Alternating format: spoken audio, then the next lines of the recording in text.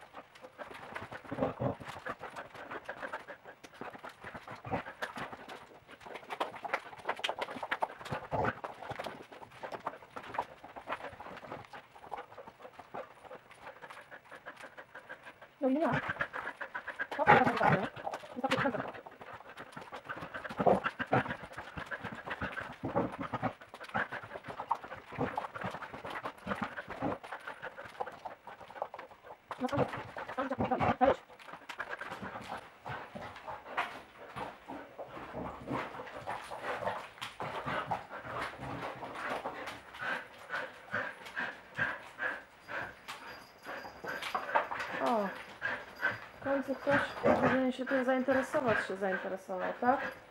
Zainteresować się zainteresował.